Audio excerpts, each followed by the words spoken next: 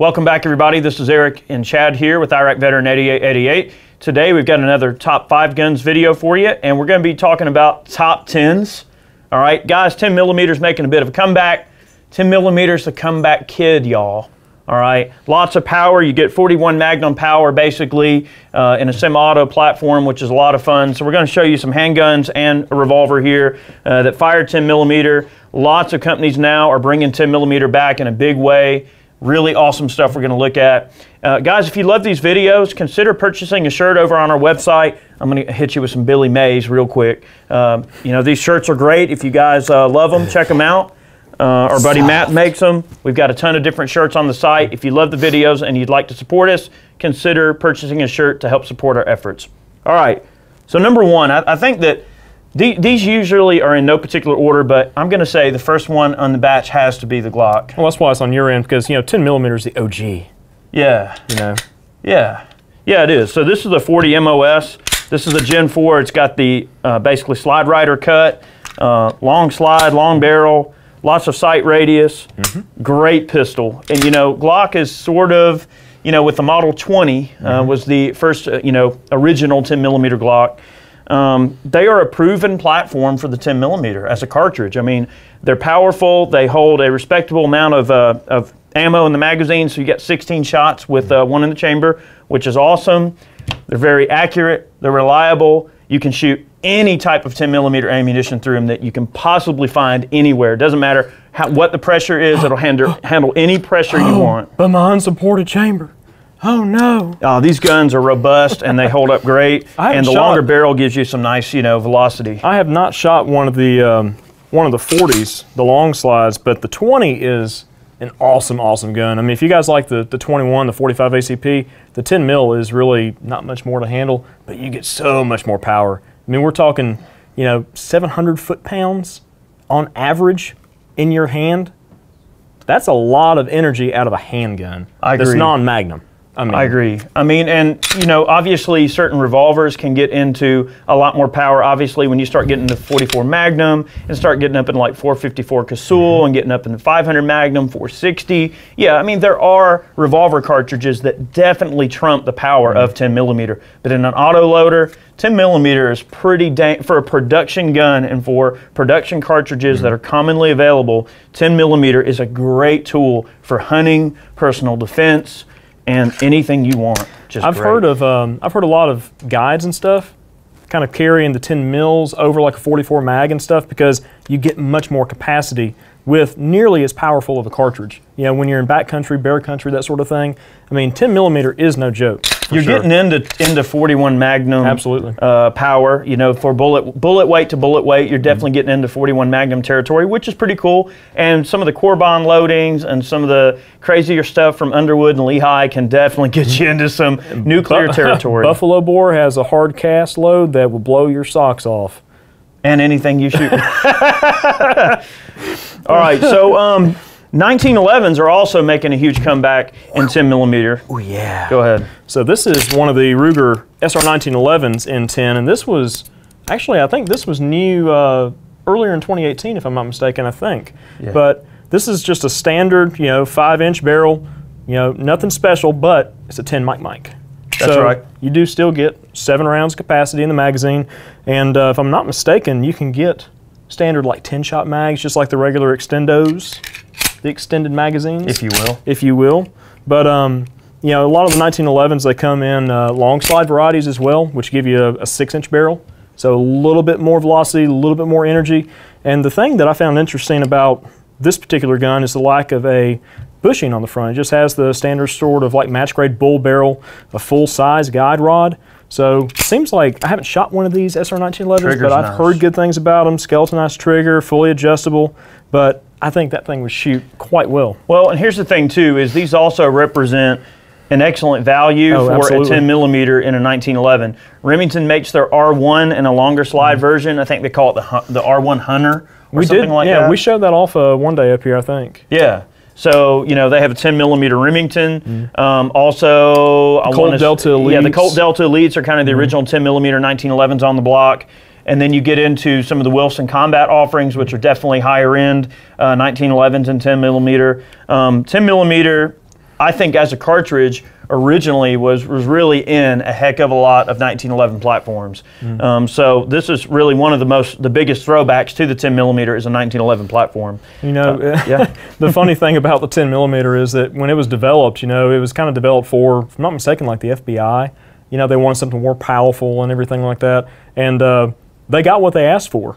And then they said, "Oh, it's too powerful. Oh no, we need something smaller." So then that's where the 40 uh, Smith and Wesson came from. And now it's just so funny that everyone is making this, you know, this venture back to the more powerful handgun cartridges like the 10 millimeter. I think and the 40 is kind thing- of dying off. yeah, it is. Uh, it, 40 is kind of dying. It's crazy 40 how is a dying go. cartridge, and 10 millimeter has gained a bit of resurgence.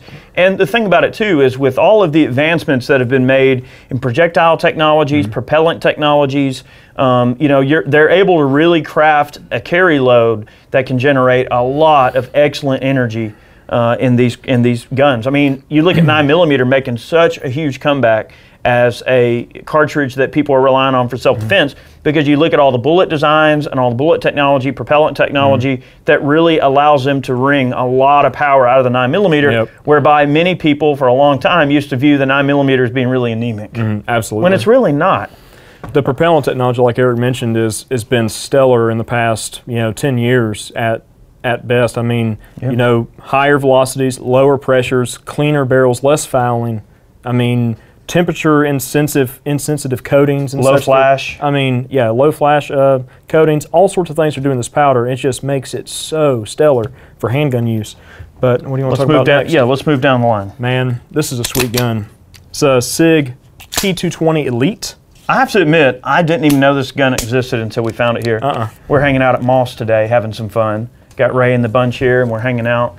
Um, you notice the mod wall behind us. That's what Tactical Walls is doing now. Well, they have a, a wide variety of other things. If I can just hack this video for a minute. Hack it. But this Hack is away. This is a different background than you used to seeing at Moss, and this is their mod wall.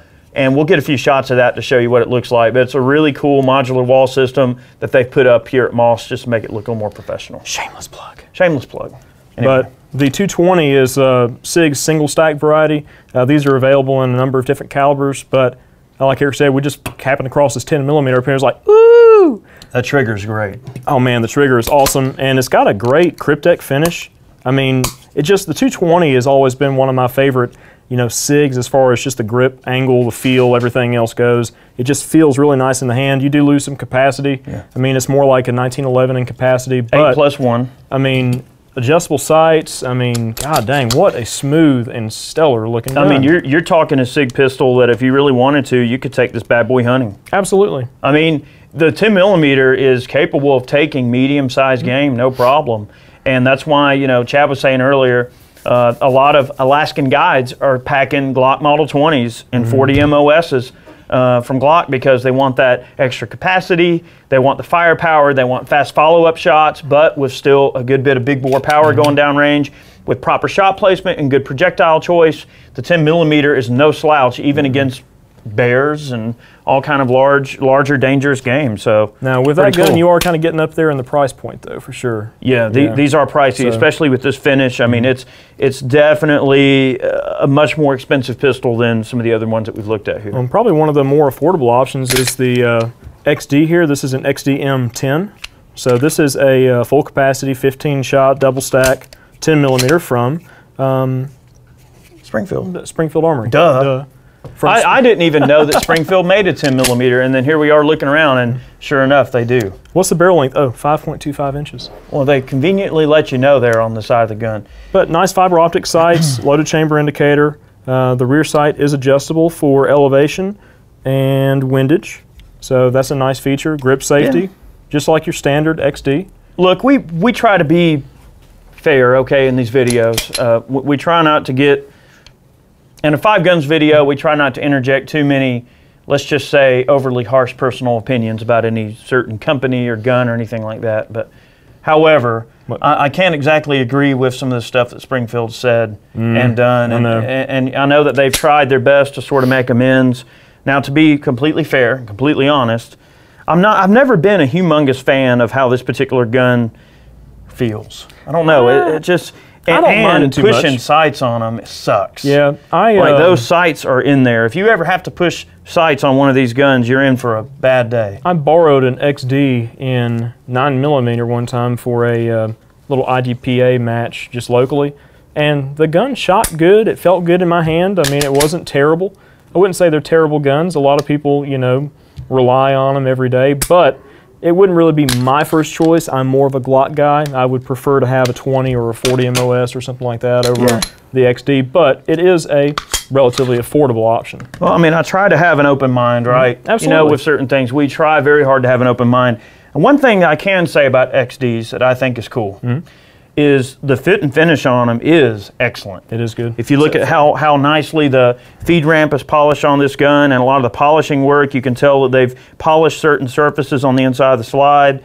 Um, you know, the barrel fit seems pretty decent. Let me see this thing. Everything looks nice. And you know, every one that we've dealt with in the past, they seem to shoot pretty decent. Okay, so we thought this would be a neat option to show off for those of you that want, you know, something that's not a Glock but still in the same, you know, kind of capacity range um, as a Glock. Some people just don't want to buy a Glock. I get that. You know, Glock has their, you know, share of fanboys. I get it. Um, so it, it's okay. All right, so moving on. All right, what do you think about that? All right, so our last gun here is a revolver. Okay, now we're, we- we've we've shown off some autos here. Uh, the last gun in the lineup is going to be a five shot or six shot wheel gun from Ruger, and it is chambered in 10 millimeter. I told you you guys couldn't count. 10 millimeter automatic. So, you know, you do have a Ruger Super Red Hawk that is chambered in that caliber, and this is pretty much a hunting pistol. You know, it's already set up for scope rings. You put a scope on it, and you've got a very well balanced 10 millimeter auto revolver. I imagine that the recoil impulse on that wouldn't be terrible. Nothing. Given the given the cartridge. However, a big old heavy all steel revolver in 10 millimeter, eh, I kind of have mixed feelings about that. Seems a little lackluster. I mean, it's Why know, not just buy a 44 Magnum? or you know something more powerful, whatever the case is. Or if you're wanting a hunting revolver, I mean, go with something like a 460. You know, Well, what, what if lines. what if some people can't handle that kind of recoil? Oh? I know, I know. I mean, if It's a good, powerful For- cartridge, and, It- it's, and it's a very powerful cartridge in a in a reasonably heavy gun that it will be a lot gentler on the recoil. I said, I just have mixed feelings about it. And 10 millimeter is pretty common. I mean, you know, the thing is, not only is 10 millimeter as a cartridge pretty common, but you know, the prices on some of the ball ammunition in 10 millimeter has gone down quite a bit too. Mm-hmm. So this is a revolver that you can get in a, in a reasonably powerful cartridge and still be able to afford to shoot it a good bit.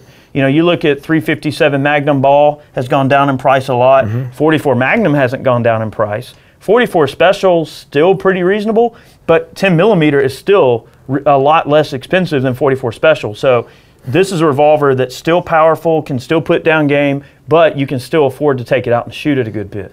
So I think that's where something like that really excels. You know, put a scope on it, get you a pair of shooting sticks, and you can go kill a deer at 50, 60, maybe even 75 yards with that gun.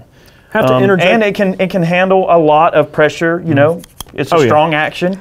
I mean, the Red Hawks. It's got some merits. the Red Hawks, Hawks have always been known to, you know, to hold a lot of pressure and shoot some pretty hot loads. But one thing I, I have to inject a, inject a little bit of personal opinion. I've never been a huge fan of the fit and finish of the newer Red Hawks. Yeah. I mean, a lot of the sharp edges are not deburred. You know, there's some machining marks that are present in the crane There's some brush marks left on it. Yeah, it's just the fit and finish of them is is not like a Smith. You know, I've always been like a Smith guy. I just love Smith and Wesson revolvers. Always like the fit and finish, especially the vintage pieces. Um, not to say that this is not a good revolver. I mean, GP100s, all those are good guns, but it's just some of the newer stuff coming out of Ruger as far as the revolvers go.